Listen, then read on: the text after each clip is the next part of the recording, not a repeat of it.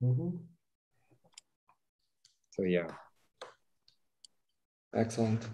So this is maybe a good opportunity also to, to do some uh, publicity. I mean, okay, there are many uh, people of the organizing committee uh, and of the scientific committee here, but like for those that still did not register for the Poisson conference uh, that will be held, so the school in Barcelona and the the, the conference in in Madrid, uh, please subscribe and uh, come to our conference. This would be very nice. But by the way, until what time? Until what time is it open? The registration is it? Uh, I don't have this at the top of my head now, but mm-hmm. I can I can look it up. Cedric, um, I seem to remember the the number of places at Barcelona was somewhat limited, like hundred people or so. Is that is that still the case? And that is still the case, but there are still open uh, positions, so people people can still register. I mean, we still okay. did not attend Good. the maximum. Thank you. Okay. So let me share screen.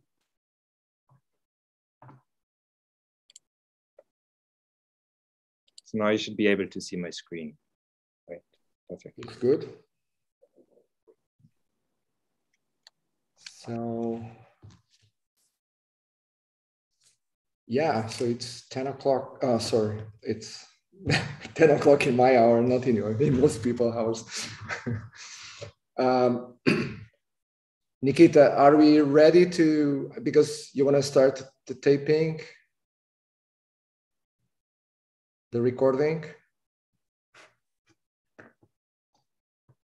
I think on my screen it says that it is live on YouTube. It is live on YouTube, but he's sometimes he's also okay. Maybe that means it's recording too, right? I don't know. Let's assume that it's that's the meaning too. So, all right. So, well, let's start then officially. Welcome to today's uh, session of the Global Poisson Seminar. We're very pleased to have Cedric Oms.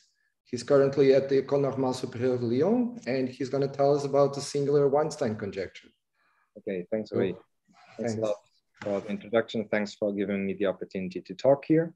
And also, well, thanks for the organizer to the organizers for, as I told you, uh, Anton, for making it uh, through the pandemic and beyond. Uh, so I hope there will be still some nice talks uh, in this seminar, okay? And so the title of my talk today is on the singular Weinstein conjecture and the existence of escape orbits. And uh, so this is joint work uh, with uh, Eva Miranda from UPC in Barcelona and Daniel Peralta Salas in uh, Madrid. ICMAT in Madrid. Okay, and so as the uh, title of the talk says, uh, there will be some contact geometry involved because we'll talk about the uh, the Weinstein conjecture. Okay, and we'll talk about a singular version of this, where uh, the good setup to talk about this is actually Jacobi uh, structures, and this is where uh, this talk fits in in in the in the Poisson seminar. Okay, so I'll try and give some emphasis emphasis on this. Okay, so I'll start off with some motivating example from uh, celestial mechanics. Okay, then the motivating example will uh, show us where those uh, singular structures appear from. Okay, uh, so let us take uh, the uh, three body problem. So as you see here in the picture, we have three bodies. We have primary, the secondary, and the spacecraft. And um, so uh, in general, the three body problem where those bodies are moving in, in the Euclidean three space under the Newton's law of uh, universal gravitation, okay? And so restricted planar uh, circular three body is uh, the following. So we assume here that we have two massive bodies. So the primary and the secondary, you can just think of as uh, the Earth and the Moon and a uh, spacecraft which has negligible mass. Okay, and so this is the first assumption. So this is where the uh, where the word restricted uh, comes into play. Okay, and then planar, uh, we assume that all the motion is happening in the same plane spanned by the motion of the primary and secondary. And uh, uh last but not least, uh, we assume that the primary and secondary are moving around circles around their center of gravity. Okay. And so as I uh, told you, the motion of the spacecraft is happening in that uh, plane that is spanned by the primary and the secondary. So this is the restricted planar circle of three body problem. And what we'll be interested in is uh, compute uh, periodic orbits of that spacecraft, okay? So, and to do this, we'll uh, write down the uh, Hamilton's equation for that uh, spacecraft. And this is can be done as follows. So we rewrite down the potential of this. And so the potential of this is given by one minus mu uh, q minus q earth. So this is the position, qe is the position of the earth, okay, plus mu over q minus qm, where qm is the position of the moon. And notice that this is a time-dependent uh, potential, okay, uh, because the earth and the moon are moving around their center of gravity, okay? And here mu is just the relative mass, okay? So, um, and this means that the uh, energy uh, is given by the time-independent Hamiltonian, which is uh, potential energy uh, plus uh, kinetic energy plus potential energy. Okay, and here we're looking at uh, the the um, the phase space. So here the phase space is given by the cotangent bundle of R2, where we take out the collision of the uh, Earth and of the satellite with the Earth and the satellite with the Moon. And so to do uh, contact topology on this, this is not a good Hamiltonian because it's a time-dependent Hamiltonian. So it's not a preserved quantity. And, but by the symmetries of this problem, what we can do, we can just uh, change uh, the, uh, the reference frame and we move the reference frame with the uh, motion of the axis of the Earth and the Moon, okay? So by this rotating uh, frame, what we obtain is a time independent Hamiltonian, which writes down as this. So it, it looks exactly the same as, as before, but the only thing that changes is uh, the addition of this, uh, of this term here, okay, which can be thought as uh, of a magnetic term or uh, like more physically, a the Lorentz force actually, okay? And so notice that this is a, a term in momenta and uh, position, okay?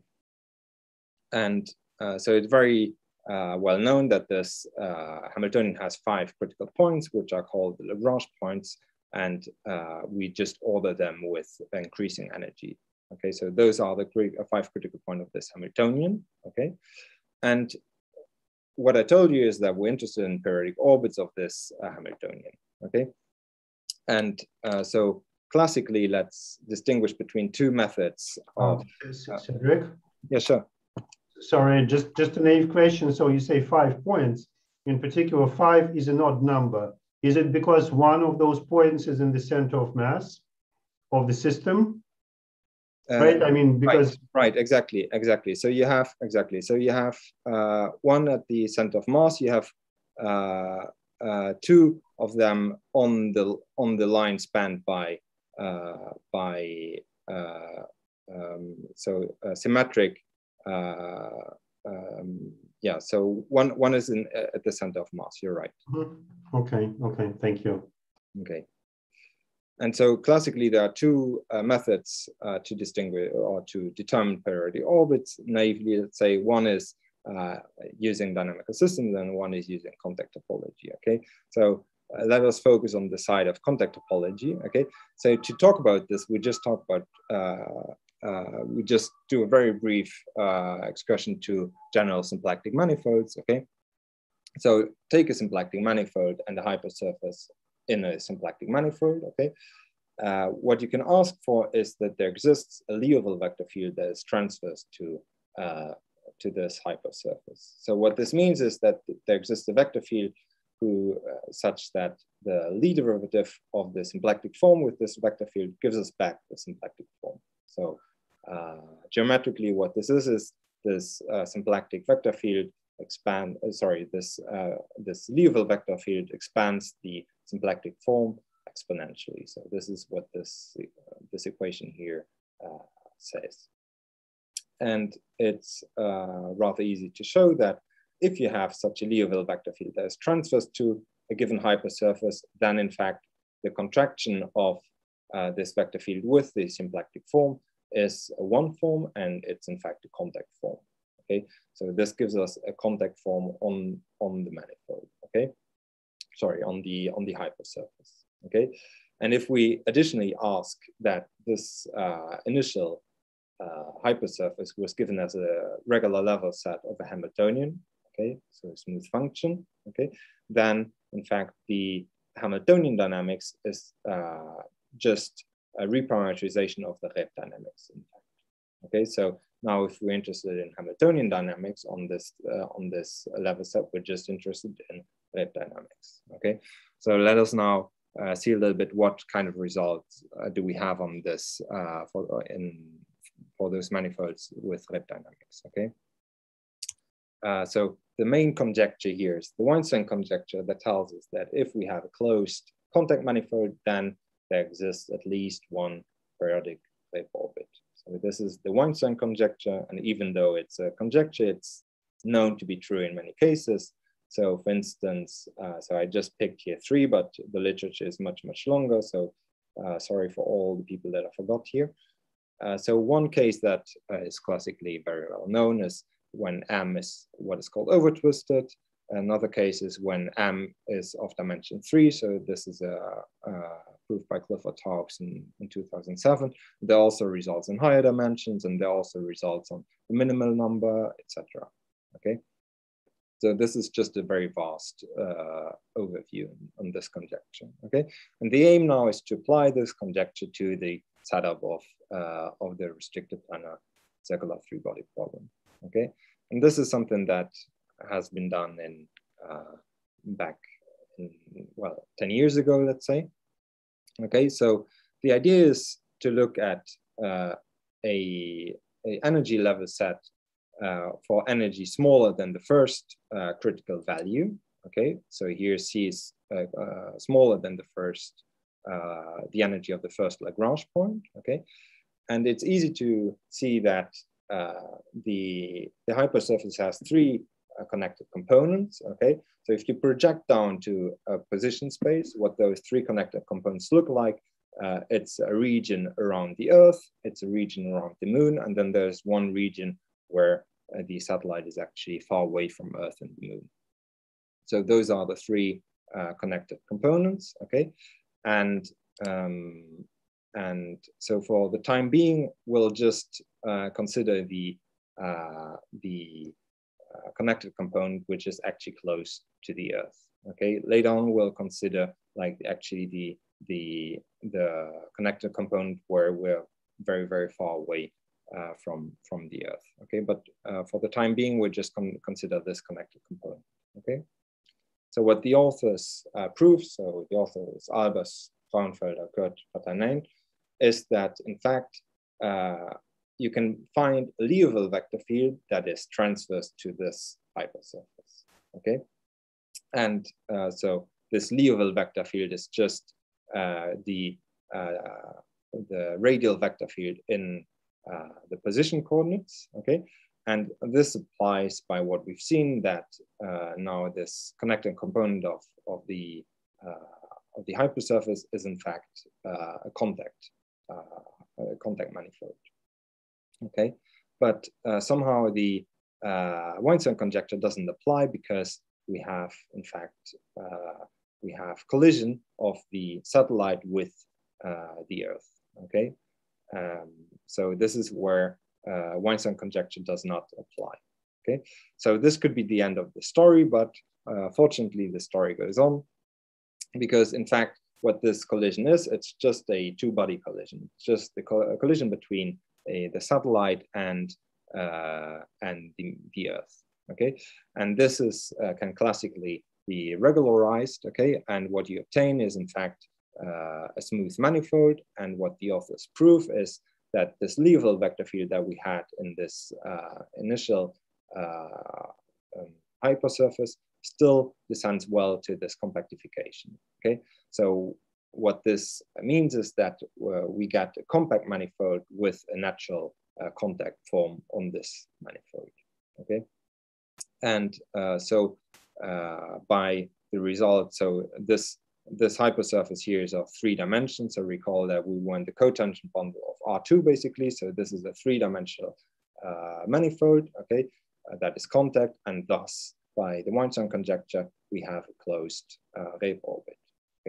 So uh, the theorem is that for uh, energy values smaller than the first uh, uh, value of, of, the first Lagrange point, we have a closed Higgs orbit on that on that regularized level set. Okay, so this is very good, but so kind of like the idea and the motivation now is to try and uh, uh, find, in fact, what are those uh, what are those uh, Reeb orbits, in fact. So the question that I'd like to ask is, where are those periodic orbits? Okay, so uh, because we only find them on the regularized set, okay? Are they maybe on the collision set, okay? And uh, of course, we would like to distinguish between those two kinds of orbit. We'd like to distinguish between really smooth orbits that exist on the, in, uh, on the original manifold, and we'd like to uh, distinguish between periodic orbits that go through this uh, collision set. So this is uh, kind of the idea. So the, the, the research program is now to keep track of the singularities under this regularization, okay, and try and prove dynamical results for this uh, geometric structures with singularities. And uh, so the answer to those questions, uh, uh I'm trying to give them with B-symplectic and B-contact geometry. Okay, so let me now show you how this B-symplectic and B-contact uh, structures appear. And in order to do so, we're going to change a little bit uh, the, pro, uh, the problem. So now we're not going to consider the level set that is actually close to, uh, to the Earth, but what we're going to uh, consider is a level set that is uh, far away from, from the Earth and the Moon. Okay, so what, what we first do, so we change the, the, the, the coordinates that we have on the cotangent bundle, we change them to uh, radial coordinates on the position. Okay, so this is here where this R alpha comes into play. And we do a symplectic change of coordinates in the momentum. So this here is just a symplectic change of coordinates. So the, the standard symplectic form here pulls back to the standard symplectic form here. And what people in celestial mechanics are really interested in is analyzing, in fact, what is happening at infinity. Okay, and so uh, to, to, to get a better understanding of what is happening in, at infinity, uh, classically people in celestial mechanics use this McGehee change of coordinates, okay? The McGehee change of coordinates, what it does for you, it exchanges the infinity with the origin. So it brings everything that is very far away close to the origin to be able to analyze actually uh, uh, what is going on at infinity. So what you typically would like to study is when is the satellite uh, escaping to infinity. Okay, and um, so this change of coordinates is given by r equal to 2 of x squared. Okay, and this is not a canonical change of coordinates. Okay, so this uh, the pullback of the symplectic form under this change of coordinates is in fact is of course not a symplectic form. Okay, but very naively we just computed. Okay, and what we obtain is something of this type here. So what we obtain is that the symplectic uh, form that is not really symplectic form looks as minus 4 uh, x cubed dx wedge d alpha plus dpr wedge dp alpha. Okay, so and this uh, at, at first sight looks like something cruel, okay, because you have here like this singularity appearing here, so it's really not a singular, it's really not a symplectic form. However, away from x equal to zero, you of course have uh, a symplectic uh, form. Okay, and the good way of thinking of this, uh, this differential form with singularity is in fact to uh, dualize it. Okay, so if you dualize it, what it becomes is uh, something of this type here, minus x cubed over four uh, mm, d, d, okay, my mouse is running out of battery uh, uh, dx wedge d alpha plus dp uh, ddpr wedge ddp alpha. Okay, so and this is just a Poisson structure. Okay, uh, so it's a Poisson structure that, of course, at x equal to zero degenerates. Okay, and but it's a Poisson structure. So the aim now is to do dynamics on this particular uh, case of Poisson structures that have this uh, type of form and try and do uh, dynamics on those. So this is a ah, little bit the the the idea of, of today's talk. Cedric, maybe I'm slightly confused. by the expression for omega because somehow coordinates are canonically conjugated to coordinates and momenta are co canonically conjugated to momenta, right, in this formula. Or, or these p's, they, they have a different meaning. So you're right. So in, in this in this first uh, change of coordinates, what what this really is, this is a symplectic change of coordinates. So this is uh, so uh, d uh, r is conjugated uh, to to to to dpr, okay, to the to the momenta in the r coordinate. Okay, so this is for the formula for the first formula that you have here on the on the on the screen. Okay, but uh, when you do this McGehee change of coordinates, you don't change the momentum. So you just change the position. So this is, so here the x coordinate is not conjugate to, to. Oh, I, I, understand that, but somehow it, it I, I, like, so, but do we start with uh, dpr wedge dr plus dp alpha wedge d alpha? That, that would be the usual, like how I usually picture those coordinated momenta. And here it looks like P is paired with P and Q is paired with Q. Of course, this is just a matter of notation, but just just to know what what. Uh... Okay. Okay. Indeed. Indeed. I. I'm okay. Uh, I'm sorry. There's a mistake. There's a typo here. You're right. You're you're you're very right. So here it should be should okay. There's a typo here. It should be dx wedge dpr plus d alpha wedge dp alpha. Okay. Okay. Perfect. Okay. So and then similar so, in the so, in the Poisson structure, right? They're similarly, all... similar in the Poisson structure, yeah. So my I don't have I don't have a mouse right now because my mouse ran out of battery. but like uh, this is exactly what what you say. So there's a typo here. I'm I'm I'm, I'm sorry for this.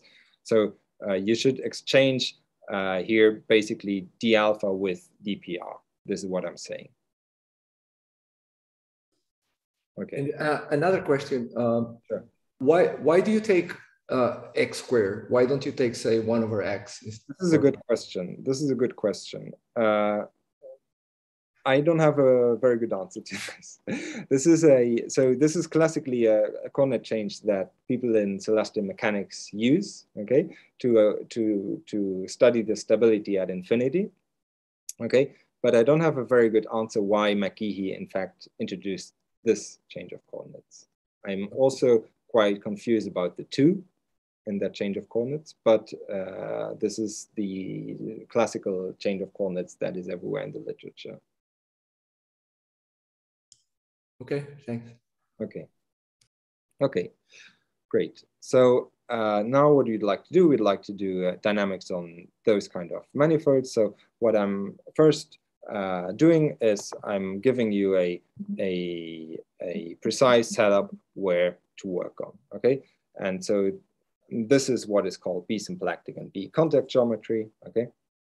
So uh, now we forget about uh, celestial mechanics. And in fact, what we're going to do, we're going to do a symplectic geometry over a certain Lie algebroid. Okay, so let me explain to you how to construct this Lie algebroid. So as I told you, B-symplectic structures can be seen as symplectic structures mo modeled over a Lie algebroid, which is the B cotangent bundle. And so this B cotangent bundle is a uh, uh, can be constructed as follows. So uh, we look at vector fields that are tangent to a given hypersurface. So we fix a hypersurface and we look at vector fields that are tangent to that hypersurface, okay? And the B tangent bundle is defined as the vector bundle whose sections are the vector fields that are tangent to this hypersurface. Okay, uh, so uh, I'll give you once more the construction, like maybe a little bit more explicit. Okay, so consider a uh, hypersurface Z. Okay, and assume that it's a regular, uh, that that it's a level set of a regular, uh, uh, regular level set of the function f. Okay, so this hypersurface Z in this talk will always be uh, uh, called the critical set, okay?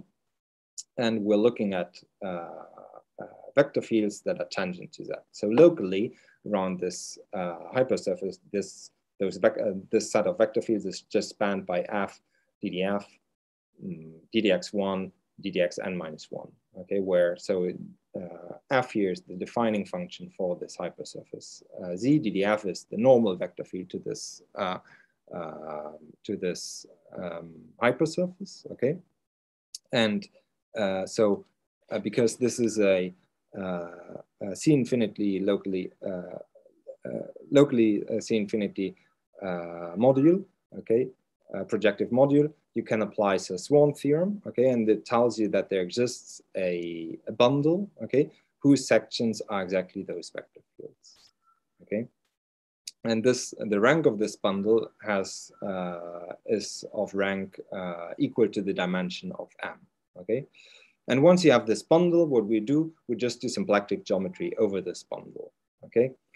And uh, so to do to do symplectic geometry over this bundle, we just we just copy like the usual uh, construction of differential forms. Okay, so we can take the dual of this bundle and we can take uh, wedges and sections. Okay, so if we take a K wedge and we take of the of the cotangent B cotangent bundle and we take sections of this, we get differential forms. Okay, but of course those won't be smooth differential forms. Okay, but will be differential forms with uh, with some kind of singularities. Okay, and so to show you how those forms look like. They are actually very easy to write down, okay? Because if we have a B form of degree K, okay, it always can be decomposed as alpha wedge df over f plus beta, okay? Where alpha is a smooth form of degree K minus one and beta is a smooth form of degree K.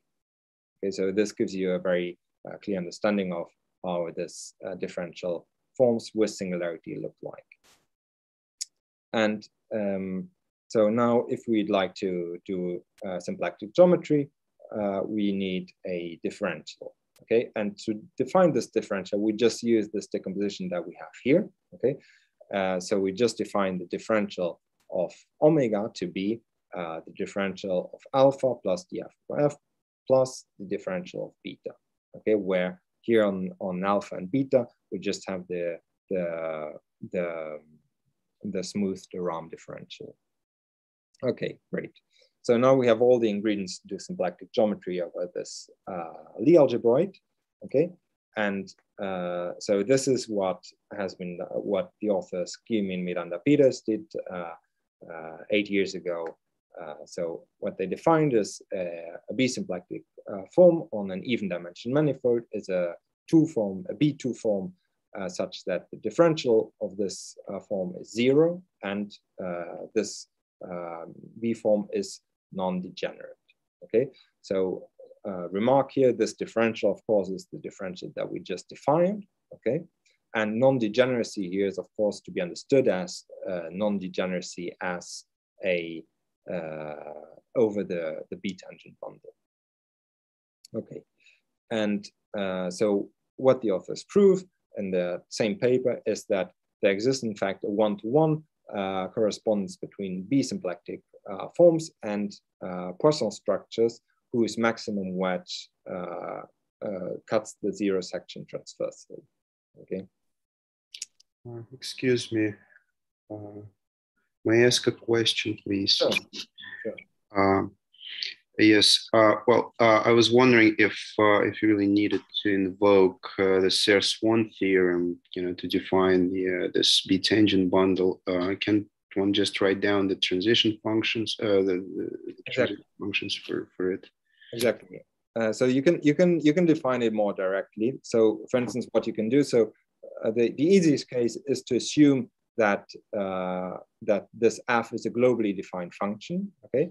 And then you can just pick the parts where f is positive, the parts where f is negative, okay? So you get uh, two connected components, well, not, not two connected components, but you get, uh, let's say, m positive and m, uh, m negative, okay? So you take the smooth tangent bundle of those two parts, okay? And what you need to do, you need to glue those two parts together, okay? And the way to glue them together is uh, you take this normal vector field that goes from plus to minus, for instance, okay? And you glue those two back together by the constant diagonal map uh, that actually uh, switches the orientation of this normal vector field as you glue. So this is like a direct construction. Okay, okay thank you. Okay, so there's no need to, to uh, apply Serre-Swan theorem, but of course, like there are more general setup where it's easier to to uh, to to to to evoke Swan theorem. Okay. Okay, so um, this is the definition of B symplectic and B uh, contact manifold uh, of B symplectic manifolds. Okay, so now uh, what is the odd dimensional equivalent to this? Okay, and well, everybody here in the audience can imagine very well what it is. Okay, uh, so you take a B form uh, of degree one. Okay, and what you ask for is that alpha wedge d alpha to the nth power is nowhere vanishing. Okay, so the manifold here is of dimension 2n plus 1, so it's an odd dimension manifold. And here we ask that alpha wedge d alpha to the nth power is a, a B form of maximal degree. Okay, so this is what, what, what this definition here asks for. Okay, and one would like to have like a similar equivalence between uh, uh, uh, between uh, B, B contact structures and uh, a certain type of Poisson structure, except that this, of course, does not work directly, but like to make this work, one has to evoke what are Jacobi structures, okay? So let me very briefly remind you what is a Jacobi structure. Okay, a Jacobi structure on a, a manifold M, so there's no condition on, on the dimension, it's just given by uh, two vector field, by vector field uh, lambda uh, and R, okay? uh, where you ask for uh, two integrability conditions. Okay, so the first one is that lambda with the sorry the the the bracket of lambda with lambda is given by twice lambda wedge r. Okay, and the Lie derivative of uh, lambda with respect to r is zero. So those two commute. Okay, so this is what is a Jacobi structure. There's also an uh, associated bracket to Jacobi structures, okay? And so what are the main examples of uh, Jacobi structures? Okay, so the first one uh, that I give here is uh, a Poisson structure, in fact, because you can just take lambda to be uh, the bivector field pi of the Poisson structure and r equal to zero. Okay, so this means that this condition here uh, then just writes down as the Poisson Poisson condition. Okay, and this condition, of course, is trivially satisfied. Okay, so this means that Jacobi uh, structures are a, uh, a particular uh, a generalization of, um, of, um, of, of Poisson structures, okay? But uh, there's one case that that that a particular case of Jacobi structures that is not covered by uh, Poisson structure, and this is uh, there's a contact structure. Okay, so if we have contact structure, what you can uh, look at uh, is the following. So as the vector field R, you just take the Reeb vector field associated to the contact form, okay? And the bi uh, vector field, you define it as follows. You define it when you apply uh, lambda to F and G, you, you, define it to be the differential of alpha applied to uh, what is called the contact Hamiltonian vector field XF and the contact Hamiltonian vector field XG. So I'm not going to define this, but just to tell you that uh, contact structures are a particular case of Jacobi structure. Okay, great. So, and uh, as I told you, the aim is to uh to put the B contact forms in bijections of uh, such Jacobi structures, and this can be done. Uh, and what one can show is that a B contact structure is in fact equivalent to a Jacobi structure where you ask that the maximum wedge is in fact transverse to the zero section. Okay, so this is what here is called B Jacobi structure, but the only important thing to remember is this, uh, this, this part here. Okay, so this is quite a lot of information. So let me just put this very uh, uh, geographically on the map. Okay, so the, here's the, the, the landscape that we have. So we have uh, symplectic and Poisson. So uh, uh, symplectic is, a, is a, a, particular case of Poisson, and you have B symplectic sitting somewhere in between those two worlds, okay? And you have Jacobi, which is a generalization of Poisson, but it also englobes contact, okay? And so B contact here is a, a generalization of, uh, uh, of, of contact and lies in between the world of, of Jacobi and, and, and contact structures, okay? Okay, so let me uh, now go to the local aspects of uh, B contact uh, forms just to make you feel a little bit what, what those look like, okay? So um, uh, we just take R3 with uh, uh, the critical set given by Z equal to zero, okay? And we can define two different contact, B contact forms on, on this manifold. So the first one that we define is dz over z plus x dy. And the second one is dx plus y dz. Okay, so those are just two examples, okay? And uh, one can easily check that those are B contact forms and uh, you can uh, compute the associated uh, vector field. So the Reeb vector field is given by those two equations. So it's determined by those two equations, okay? And uh, in fact, that Reeb vector field has, uh, that we wrote down here, has two um, very different behaviors because, uh, of course, this Reeb vector field is a section of uh, the B tangent bundle. Okay, so as a section of the B tangent bundle, it cannot vanish because of this equation here. Okay, but it's a B vector field. So in particular, it's a smooth vector field. Okay, so as a smooth vector field, this uh, vector field in fact vanishes, whereas uh, as a smooth vector field, this vector field here does not vanish. Okay, so this really shows that uh, uh um, the Reeb vector field in fact can vanish and that the two behaviors are uh, kind of very different. Okay, and similarly, uh, so if you look at the kernel of the contact form, which is called the B contact structure, uh, this kernel uh, as a smooth uh, distribution can, the rank can in fact change as you move the base point. Okay, so this is just like a, a small comment, but the vanishing of the vector field will be very important in a second. Okay, and before moving on, I'm just going to briefly in, give you like a very small result.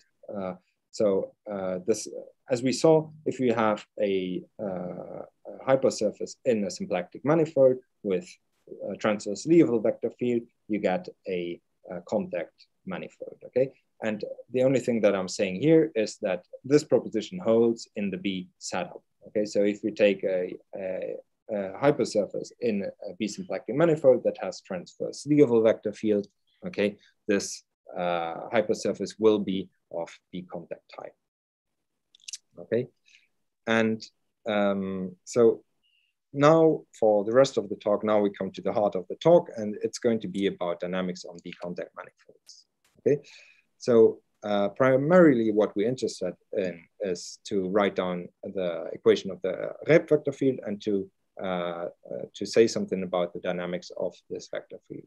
So uh, when I say dynamics of this vector field, I always mean dynamics when this vector field is viewed as a smooth vector field. So you include, inject this in the, in the space of smooth vector fields, okay? So question, are there always periodic orbits of this vector field? The answer is, uh, well, uh, on the critical set, there will always be uh, periodic orbits and away from the critical set, uh, you can have uh, examples where there are no periodic orbits, okay? And um, so to explain you this a little bit, let us just uh, take an example. So we take this b-symplectic manifold here. So we take R4 with uh, omega given by this b-symplectic form here, okay? And we look at the three sphere in this manifold, okay? So uh, it's easy to show that this is in fact a B contact manifold. So there exists a transverse Liouville vector field to this, okay? And so hence one can compute the, dynam the dynamics of this, uh, of this uh, Reeb vector field. And in fact, on the critical set, what you have is that the Reeb dynamics is given by this picture here. So the critical set is given by a two sphere sitting in S3, okay? And uh, so you have two singular points, which are the north and the south pole, and you just have rotation around the axis, okay? So this is, this is the dynamics of the Reeb vector field on the critical set, okay? So in particular, you see that there are always infinitely many periodic, uh, the, sorry, that in this example, there are infinitely many uh, periodic orbits, okay? And um, what we're now going to show is uh, that uh, this is in fact true in general, okay? Is there question, Dima? Okay. Um, uh, sorry, yeah, I, I was just, uh, excuse me, I was just wondering uh, uh, uh which uh, two sphere, but yeah, I think I, I think I got it. That's, okay, so the two spheres, so the critical set here is x1 equals zero. X, x1 equal to zero, sitting in S3, exactly. Uh, sorry, may I ask another question. Uh, sure. Uh, just take this opportunity. Excuse me for interrupting, but uh, I, I, uh, the formula that you showed before for you know for, uh, uh, uh, for your, your, for your example, like you know, with the satellite, had a cubic singularity. Exactly. so is that covered by you know the, the the theory that you're you, you, you can you can generalize all this. For the sake of, of simplicity I, I i do not mention this here. So everything has singularity one which is the easiest uh, case. So exponent one let's say but you can generalize this. Okay so there is a theory of these uh, kind of like higher or like yeah. You know, more singular b structures uh... yeah. you don't you don't have transverse intersection anymore but you have some more general intersection Okay, yeah, just so that I understand. So, so the so your example is not actually covered by uh, uh, the theory that you're now uh, discussing. Yes, so you can you can generalize this example as well to to those uh, to those structures. I didn't write it down for the sake of simplicity, but but a similar example works. Okay, uh, thank you, thank you. Okay and so the the the situation that is that we have here in fact works always at least in dimension three.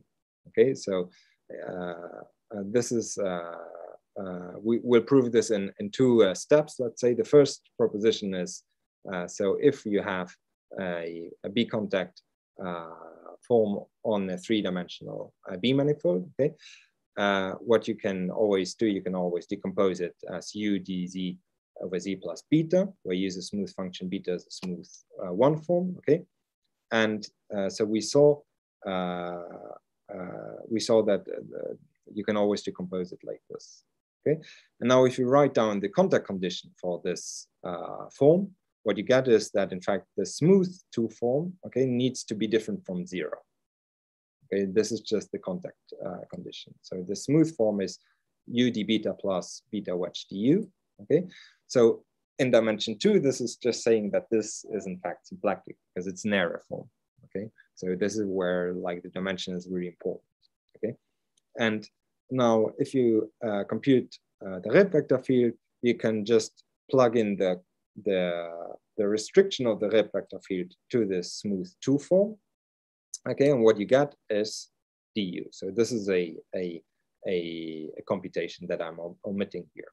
Okay, but what this com uh, computation tells you is that this Reeb vector field is in fact a Hamiltonian vector field on the surface. Okay, and this Hamiltonian function will play a fundamental role in, in, in the following results. So this is why I give it a name here. I call it exceptional Hamiltonian. Okay, so once more, a Reeb uh, vector field on the on the surface is just a Hamiltonian vector field with Hamiltonian function a certain u. Okay, and now what can we do with uh, this Hamiltonian? Well, in fact, you see already from this proposition that the critical point of this Hamiltonian uh, is in uh, correspondence with the uh, with the uh, vanishing point of the Reeb vector field. Okay, and more can be said because Cedric. Yes. Can I just can you just go back to the, the yeah in this slide? So z is a, a defining function for for the um, the yes. singular locus? Yeah. Is this a, an assumption that you are making about the singular locus, or is this uh, this kind of a local statement that then implies things globally? Uh, well, I for I just assume that the the function the the you have a hypersurface in M that is given by a, a local defined defined function. Okay, thanks. Yeah. Okay, so and this Hamiltonian plays an important role namely in this uh, proposition here. So uh, the proposition says that uh, on the three-dimensional B contact manifold, you always have infinitely many periodic orbits uh, on the critical set, assuming that uh, the critical set is closed. Okay, and uh, the proof is, is, is very simple. So it holds in, in this slide here. So you can write down alpha as we did before, okay? And in fact, uh, u needs to be non-constant on, on the hyper, on the surface, okay? Uh, because otherwise the uh, you would get a, a, volume form that is exact on the uh, on the surface, which cannot which cannot be true. Okay, and uh, as we saw uh, before, the Reeb vector field is just a Hamiltonian vector field. Okay, and because u is non-constant, you have many regular values. Okay, and the regular values of u, so u is a function from the surface to r the regular values of these functions are uh, circles, okay?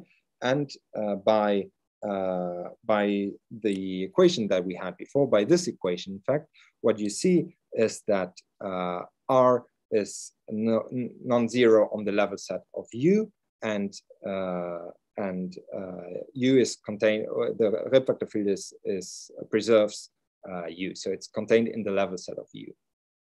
Okay, so in particular, this uh, shows that the vector field is periodic on uh, the level sets of U. Okay, so this is the proof. It's a, it's a very easy proof that holds in one slide. Okay, so what we showed is that there exists always infinitely many periodic orbits on this critical set. So now, uh, what about periodic orbits away from this critical set? So if you think about like this uh, problem, original problem that we had, so we had this satellite uh, uh, and the critical set was infinity. So uh, what we now would like to see is, in fact, are there periodic orbits away from infinity? Okay, and there is bad news. Okay, and the bad news is that uh, even in the compact case, there are always examples without any periodic orbits away from the critical set. Okay, and the example is the same example as we had before. Okay, so once more we consider S3 in this b-symplectic manifold here. Okay, so I already told you how the dynamics looks on the critical set. Okay, and but now the dynamics away from the critical set looks as follows. So uh, coming from this singularity, you have in fact an orbit that in minus in uh, uh, that that tends in in in uh, whose omega limit, okay, so time minus infinity limit, okay, tends to this singular point, okay? And if time moves on, you go upwards, okay? And, and plus infinity, you hit like the other uh, singular point. So this is a, what in dynamic system is called a heteroclinic orbit, okay? You have the same picture inside of the two sphere as well, but I didn't depict it uh, here, okay? And all the other orbits, what they're doing, they are spiraling around uh, that two sphere, in fact, okay?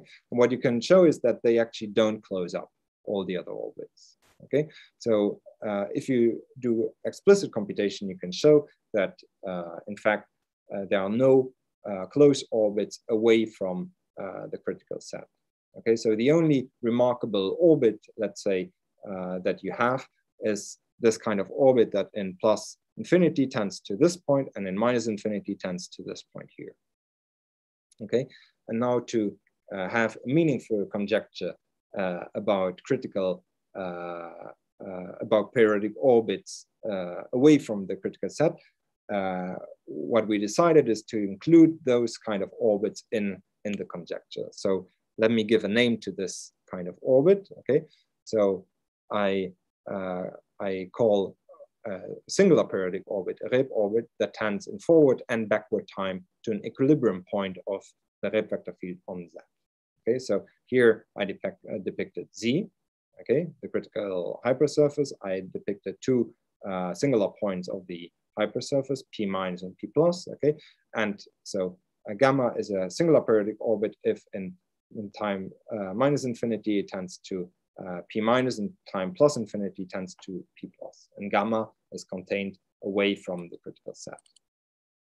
Okay, and for with, with this definition in mind, what we conjectured is the following. So this is what is what we call the singular Weinstein conjecture is that if we have a compact uh, B contact manifold, then there exists always either smooth periodic uh, Reeb orbit away from Z or a singular uh, periodic Reeb orbit, okay?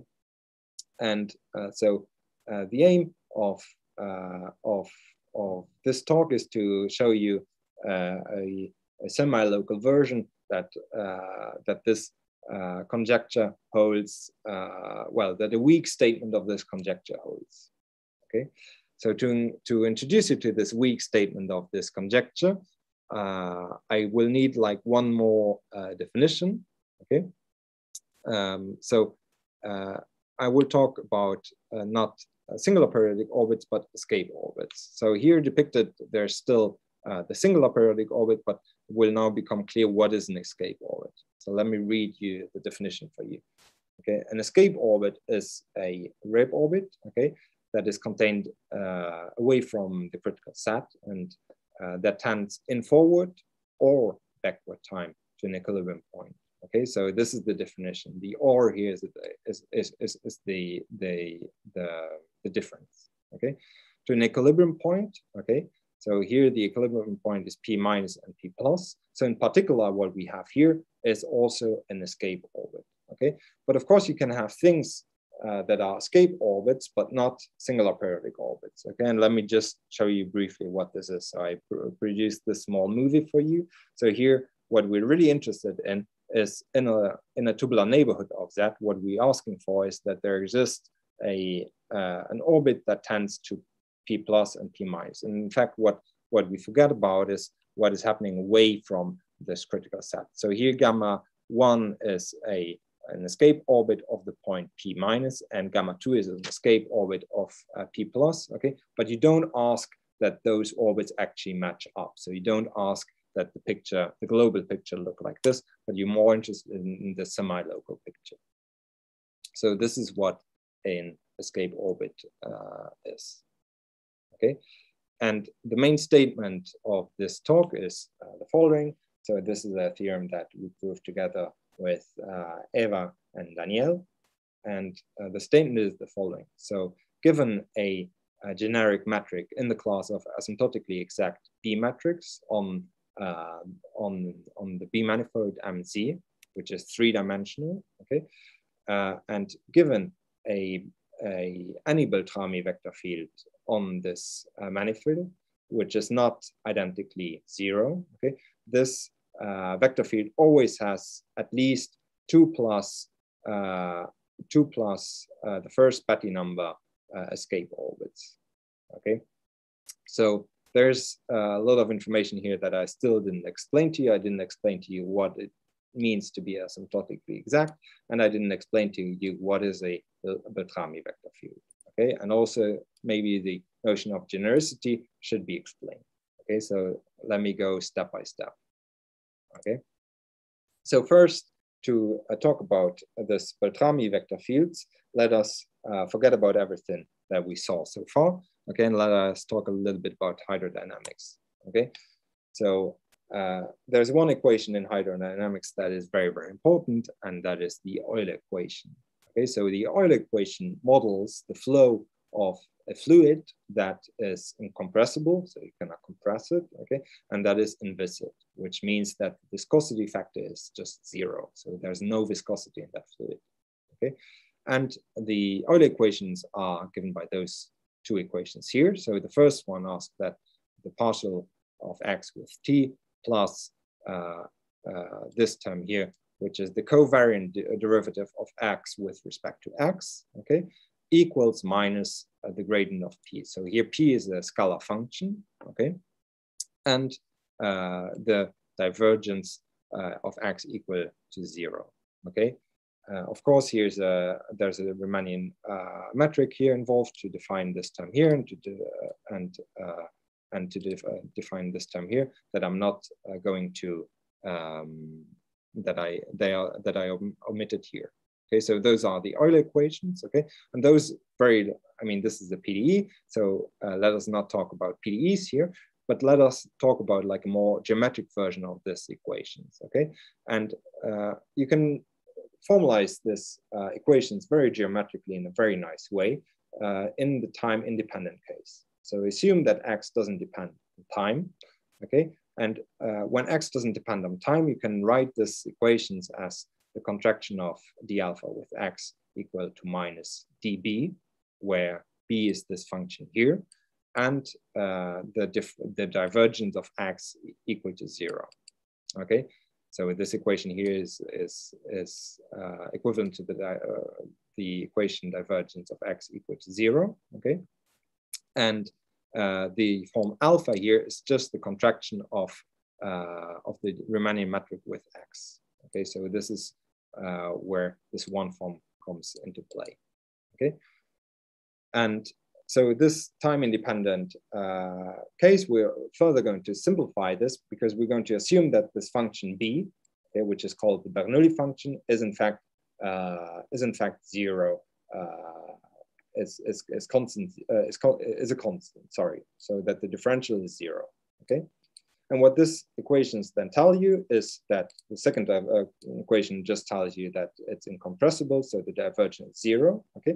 And the second uh, equation, so the contraction of x with d alpha is zero, just tells you that f, that x is in fact collinear to the, to the curl operator of x, okay? So what this means is that x twists around uh, the axis of x, basically, okay? So here you see already some, uh, some uh, you feel already that there is some contact geometry going to be involved, okay? And so to make this uh, contact ge geometry uh, clear, let me uh, talk about a proof that was done by Etnyre and Ghrist, okay? Um, that, uh, that goes as follows, okay? So let us take a one of those uh, Beltrami vector fields, okay? So it's a vector field that satisfies this equation here, okay? So it's it's uh, collinear. The vector field is collinear to its curl. Okay, and uh, okay, my computer has a weird thing going on here. Okay. Okay. And so the uh, Beltrami equation just writes down as d alpha equal f uh, contraction of x with the volume form. Okay. And uh, it's easy to check that in fact alpha wedge d alpha is positive. Okay, so this follows from the fact that f is positive. Okay, and this uh, this free uh, form can in fact be shown to be positive. Okay, and more can be said. In fact, can be said that x is uh, a reparameterization of the Reeb vector field. Okay, this follows immediately from this equation here, because the contraction of uh, the alpha with x is in fact the contraction of x with the contraction of x of the volume form. Okay, so this is clearly zero. Okay, so this means that the uh, x is in the kernel of, of the alpha, so it's by uh, definition just a reparameterization of the Reeb vector field.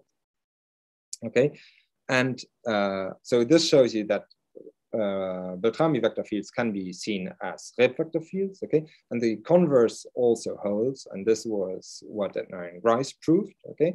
And uh, this statement was proved in uh, terms of uh, B geometry by uh, Cardona, Miranda, uh, Peralta, Salas, okay? Uh, so I'm not going to prove this, but the proof is adapting the arguments of Etnyre and Ghrist to the B setting, okay? So this is one notion that we now explained in the main statement. Uh, so let me give you an example to actually show you how to prove this statement. Okay, so to, to prove this statement, we're going to take an example, which is the two torus times R with this Riemannian metric here. Okay, so this is a, a Riemannian metric for the B tangent bundle. Okay, and uh, we take what are called the ABC vector fields on this manifold. Okay, so those are vector fields that write down as this. Okay, and first computation that you can do, you can check that this is in fact a Beltrami vector field. So it's uh, the vector field is is parallel to its curl operator. Okay, and so by this correspondence that we talked about, it's in fact a Reeb vector field, and the associated B contact form is given by the contraction of the Riemann uh, uh, metric uh, with this vector field. Okay, so this gives us the B contact form. Okay, and now if you uh, remember, uh, so uh, this uh, the Reeb vector field on the critical set is just a Hamiltonian vector field.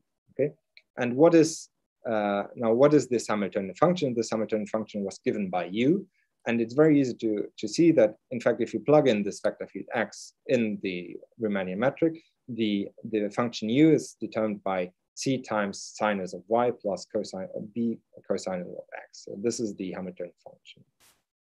And now you just com start computing things, okay? And what you see is that in fact, this function is an eigenfunction of the Laplacian of the metric uh, uh, induced on, on the two torus, okay? And you may say this is a coincidence. So it's an eigenfunction of the Laplacian, okay? Uh, but in fact, it's not a coincidence, this, okay? So what is happening in this example is something that is actually happening in general, okay? So if you take uh, a metric that looks like this, so it's a, a Riemannian metric on uh, the B tangent bundle that writes down as dz over a squared over, uh, over z squared plus the pullback of a smooth metric on the critical set, okay? So this is what we call in asymptotically the exact B metric. What you can prove is that uh, Beltrami vector field actually, so uh, the Beltrami vector field gives rise to uh, a smooth function, uh, which is the Hamiltonian associated to the Reeb dynamics on the critical set, okay? And what you can prove is that it's uh, an eigenfunction of the Laplacian of this metric, okay? And the proof is basically uh, formalizing this idea that we just saw in the example. So you take this uh, contraction of the Riemannian metric, which gives you one form, okay? And this term that is in front of the of the singular uh, term of the of the B contact form, okay, is gives you the exceptional Ham uh, Hamiltonian, okay? And then you can do an explicit uh, computation a direct computation uh, that tells you that, in fact, uh, this function is an eigenfunction of the Laplacian. Okay, and the good thing about eigenfunctions of the Laplacian is that uh, much is known about these eigenfunctions. Okay, so in particular, uh, this is a very classical theorem by Karin Uhlenbeck in, in 76 that tells you that uh, generically a Laplacian uh, satisfies those three uh, properties. So first one is the spectrum is simple. Okay, so uh, the eigenvalues have multiplicity one. Okay, and uh, the zero set uh, of those eigenfunctions is a regular level set. Okay, and third is that uh, all the, those eigenfunctions are in fact Morse functions. Okay, so generically, what you what what we get from this is that in fact this exception Hamiltonian is uh, Morse function, for instance, and its eigenfunction, uh, its eigenfunctions are in fact regular. And this is very handy because now uh, we can prove the main statement. So I'll just finish in, in three minutes, let's say. Uh, so let me recall the main statement. So the statement is that you take uh, a metric that is of that uh, type that we saw before, okay? And you take a B Beltrami vector field on, on the three manifold, okay? And now we would like to see that there exist uh, two plus the first Betti number of Z escape orbits, okay? And now we just put the puzzle together, okay? So to put the puzzle together, we just uh, do what I, what I told you in the previous uh, propositions. So we take this B Beltrami vector field, okay? We plug it in in the metric, okay? This gives us the B contact form, okay? And uh, the term that is in front of the dz over z is in fact the, the z coordinate of this, uh, this B, uh, Beltrami vector field. And uh, by the previous uh, proposition, this function is just an eigenfunction of the Laplacian. So hence by the, uh, by the, the statement of Karin Uhlenbeck, you know that h is a Morse function and zero is a regular value.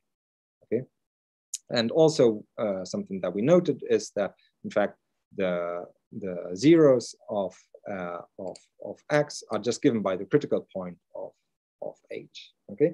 And now what you can do, you can just do local analysis around uh, the, the critical points of this Hamiltonian, okay? Uh, so this is what I wrote down here. I mean, I'm, I'm running out of time, so I'm not going to be too precise here, but you can do local analysis to show that uh, there exist, in fact, transit invariant manifolds of dimension one or two that are coming out of the critical set. Okay, so what this proves to you is that there exists a one-dimensional manifold that is actually leaving the critical set, and this gives us exactly uh, the escape orbits.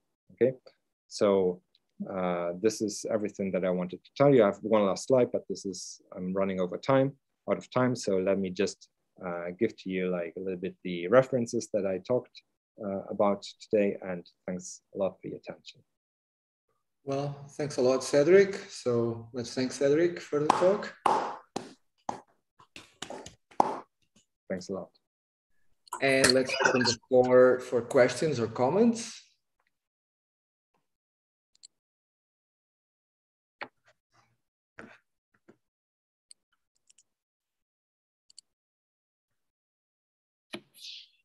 Yeah, Dima. Uh, hello. Um, hello.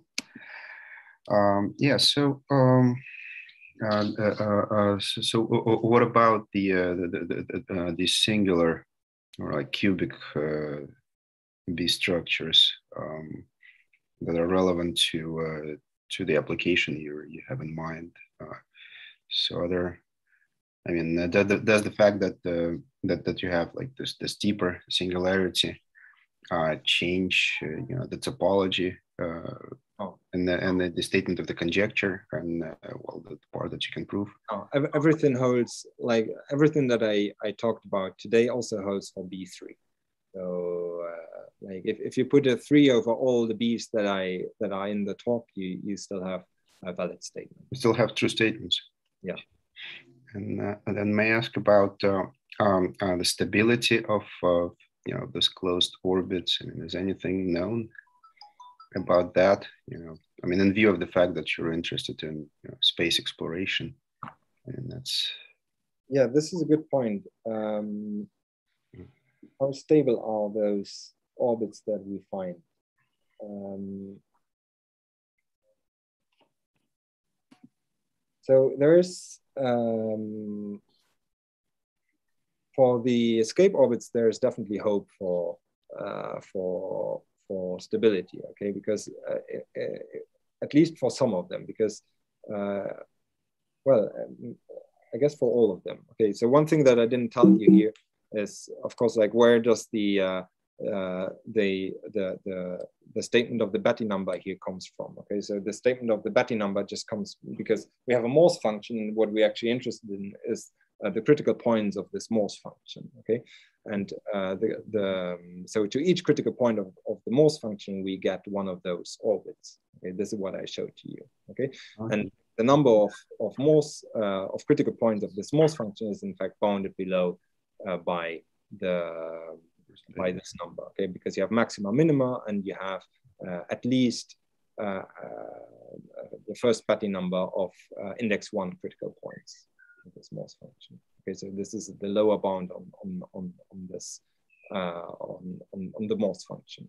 So I see. Okay, and uh, so for the the point is that for this escape orbits, uh, I, I, I I haven't thought about this, but uh, I guess that the proof should uh, be really a stable proof.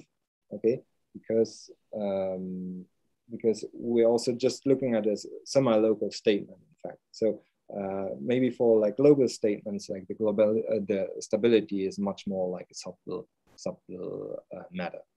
Okay, but uh, let's say like from from a point of view of uh, space exploration, uh, let's say okay, this is a big word, but from a point of view, those escape orbits are, are interesting because it's it's really orbits where the satellite actually escapes to infinity. So this is something that you would want to prevent, I suppose. Or, or... This is this is this is something that you would prevent. Okay, but like if if if you have them, uh, mm-hmm. you know you you know where you know where they are actually. So I mean, in in, in a way, like okay, like of course, like this is uh, uh, very far from uh, from precise uh, uh, engine mechanics, uh, space mechanics, let's say. But if you know where they are, you can you can try and avoid them in like, practical uh, applications, let's say. So, uh, uh, uh, so, so there is no. is there a statement, you know, that would guarantee, or, or you know, under what conditions could you guarantee the existence of, you know, of a closed orbit away from the singular? Uh, locus. Yeah, so we have statements about this. Um, so we have statements uh, that, in fact, there exists what is called an over-twisted disk away from those uh, from this uh, critical set. Okay, so this is very much in the light of uh, Hofer's proof of, uh, of existence of closed Reeb orbits in, in the presence of over-twisted contact structures, okay?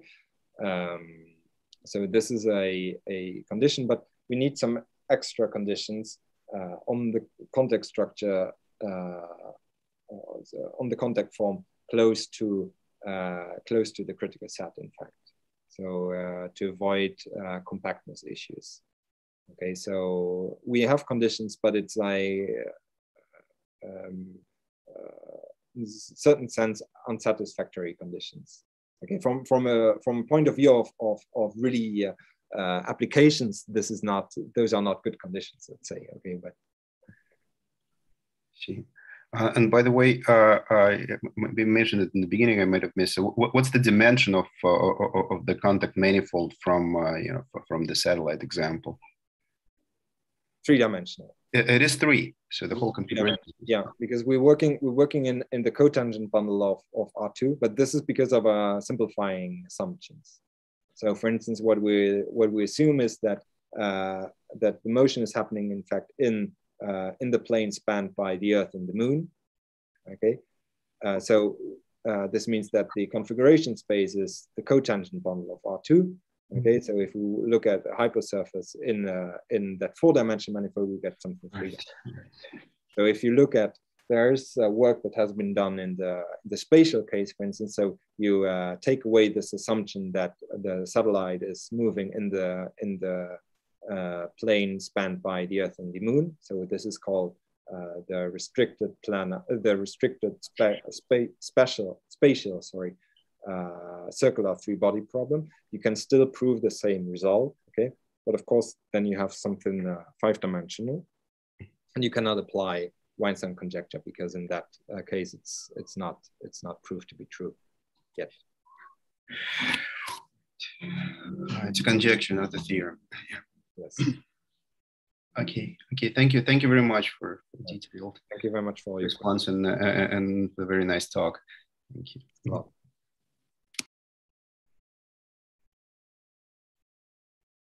Are there other questions?